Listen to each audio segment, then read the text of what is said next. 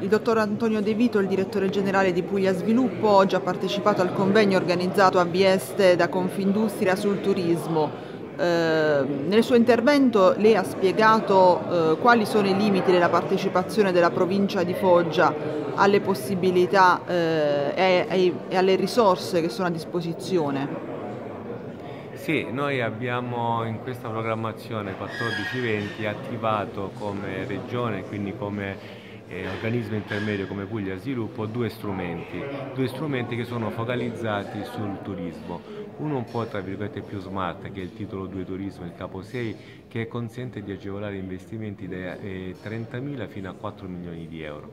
Poi abbiamo invece uno strumento diciamo, più strutturato che è lo strumento PIA, che sta, l'acronimo che sta per pacchetto integrato di agevolazioni, che finanzia investimenti diciamo, di portata un po' più elevata fino a 20 milioni per le piccole imprese, fino a 30 per le medie, fino addirittura a 40 per le grandi imprese. Ecco, su questa programmazione a distanza diciamo, di 4 anni di operatività, perché la nostra è una strumentazione che è aperta, è strutturale, quindi diciamo, si valuta la singola domanda, quindi è una procedura a sportello. Sul titolo 2 abbiamo ricevuto ad oggi 400 milioni di euro di investimenti, dei quali il, circa 51 milioni sono eh, stati presentati in provincia di, di Foggia. Sul PIA siamo a 300 milioni di euro e nessuna istanza è stata presentata sulla, in provincia di Foggia, quindi investimenti turistici che abbiamo ricevuto sono 700 milioni, il 7%, il 7% solo ed esclusivamente dalla provincia di Foggia.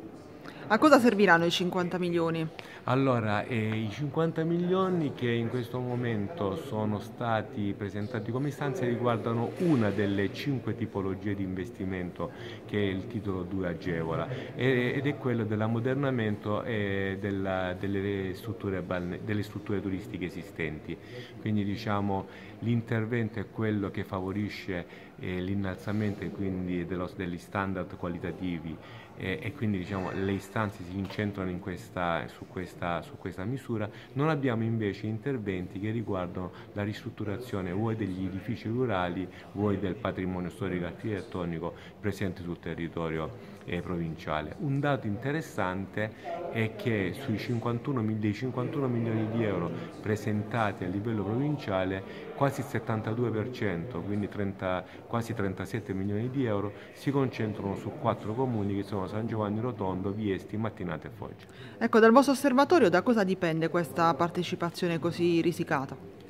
e questa diciamo, è una diciamo, valutazione che bisognerebbe eventualmente porre in essere con uh, i corpi intermedi e quindi con le associazioni di categoria, fare forse una riflessione. Io non penso, voglio dire, che ciò sia dovuto solo ed esclusivamente a una disinformazione eh, su questi strumenti. Se ciò è vero possiamo sicuramente cercare di recuperare almeno in quest'ultimo anno di operatività dei nostri strumenti che sicuramente andranno a concludersi entro il dicembre del 2019 2019. Se ci sono degli altri elementi, forse sono elementi che vanno un attimino attenzionati, vanno un attimino analizzati, vanno un attimino studiati in maniera tale da cercare di recuperare eh, quest'ulteriore anno e mezzo di operatività, ma capire anche, eh, anche come la prossima programmazione 21-27 possa diciamo, calare o comunque possa avere la possibilità che anche da questo contesto provinciale possano arrivare istanze tali da poter valorizzare e migliorare gli standard qualitativi del, del contesto provinciale. E le altre province hanno una partecipazione ehm, omogenea tra di loro? Diciamo, per quanto riguarda il sistema del turismo c'è una provincia che naturalmente ha una valenza un po' più spiccata che la provincia di Lecce, la seconda è la provincia di Brindisi.